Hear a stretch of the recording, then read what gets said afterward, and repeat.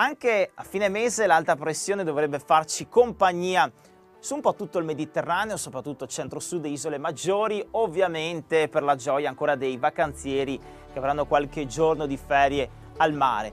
Per quanto riguarda già le regioni settentrionali, qualche temporale giungerà con eh, gli ultimi giorni di agosto perché si faranno sentire strada le correnti più fresche nord oceaniche verso appunto Francia e parte di Spagna. Si getteranno poi sul Mediterraneo probabilmente proprio a cavallo tra gli ultimissimi giorni di agosto e la primi di settembre le temperature saranno in lieve calo anche il centro-sud con qualche rapido temporale di passaggio. Insomma, entro i primi giorni di settembre dovrebbe sgonfiarsi questa bolla anticiclonica anche per le nostre regioni centro-meridionali.